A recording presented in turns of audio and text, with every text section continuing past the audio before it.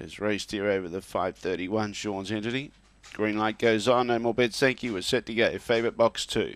Ready now away. Sean's entity began fair and is now pushing up underneath Dinarachi. But Dinarachi got across. Sean's entity right behind it, a length and a half away. He's got a good chance to go up on the inside. Switches to the outside. Black Hawk D behind those. Then Destini Mantello. Back behind those was Spring in China and out the back was Magic Missy. Down the back, Dinarachi still got two lengths on Sean's entity. Favourite goes for the inside run now. Still got some ground to make up. Not sure whether they go inside or outside. They're five lengths clear of Black Hawk D. Then behind those, Destini Mantello and Spring in China. Favourite's got a lift here. Dinarachi in front. Now the favourite lifts and Sean's entity goes on to beat Dinarachi. Third was Destini Mantello. Behind those was Spring in China. Uh, Black Hawk D and Magic Missy together at the tail end of the field.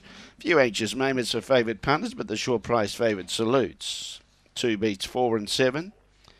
Two, four, seven and five. Strong at the finish, Sean's entity, as per usual.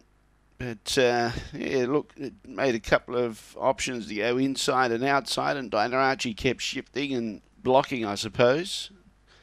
Dinarachi was quite clever that Sean's entity was just a little bit too strong. The Thornton Dog, April 2015, Magambo out of Girl Aloud.